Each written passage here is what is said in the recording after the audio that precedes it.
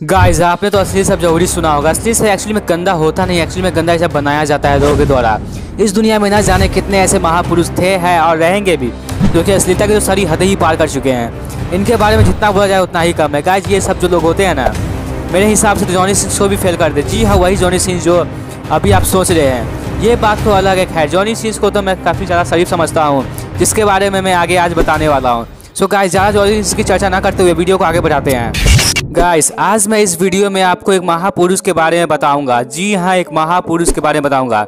इनका नाम तो गिनीज वर्ल्ड रिकॉर्ड में दर्ज होना चाहिए। उनका नाम है प्रीति माइक। जी हाँ प्रीति माइक। मुझे मालूम है, यह नाम आप फ़र्स्ट टाइम सुने होंगे, क्योंकि इनके बारे में आपको यूट्यूब पर ना के बराबर वीडियोज़ मिलेंगे।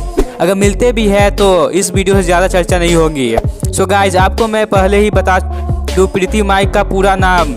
माइक एजी नवेली न्यूविगू है। इसे गाइज़ अगर आप इंस्टा के दीवाने हो तो प्रीति माइक को अवश्य जानते होंगे, क्योंकि ये वहाँ से इंस्टा के चाहने वाले हैं। गाइस आप सोच रहे होंगे, मैं इसे बार बार महापुरुष क्यों बोल रहा हूँ?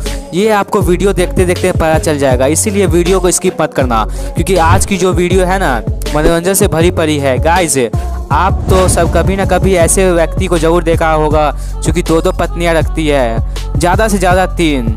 लेकिन इंटरेस्टिंग बात यह है गाइस ये जो इंसान है ना, इनके दो नहीं, तीन भी नहीं, अरे गाइस चार भी नहीं, पूरे छः पत्नियाँ थी इनके पास। जी हाँ बिल्कुल अपने सही सुना, पूरे छः पत्नियाँ थी इनके पास।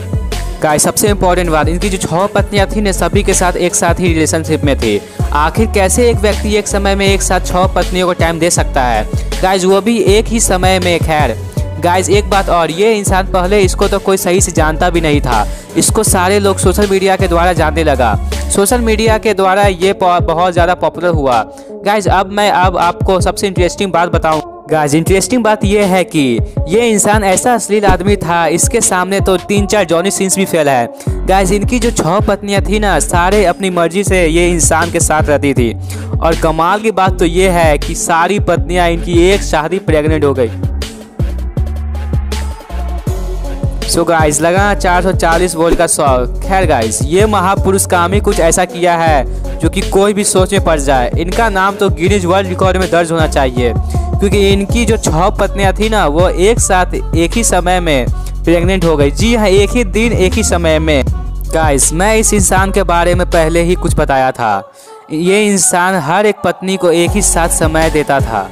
गाइस जब भी इनकी छह पत्नियाँ नहीं थी, तब ये लड़कियों के आपजनी के फ़ोटो पोस्ट करता था। आपजनी से मतलब है एमएमएस बनाकर पोस्ट करता था। इसका ये कारण की वजह से 2017 में इसको जेल भी हुई थी। गाइस अगर आप चाहो तो इसके बारे में और भी जान सकते हो, क्योंकि ये इंस्टा पर बहुत ज़्यादा फ़ेमस है, अश्लील आदमी के लिए। सो गाइस क्या रहा है ये इंसान के बारे में? मुझे आपका जवाब चाहिए। इस व्यक्ति से रिलेटेड सो कमेंट करना मत भूलना क्योंकि मैं आज से पहले इस जा, इससे ज़्यादा अश्लील आदमी कहीं नहीं देखा।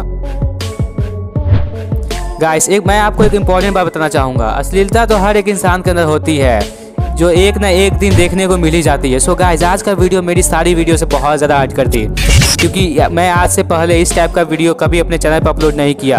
अगर मेरी बाकी वीडियो सब भी नहीं देखी तो जाकर चैनल पर विज़िट करो और देखो और बताओ। मैं इसी तरह के वीडियो अपलोड करूँ, या पहले जैसा अपलोड करता था, वैसे ही करूँ। सो गाइज़ आज के वीडियो में सिर्फ़ इतना ही था। Thanks for watching guys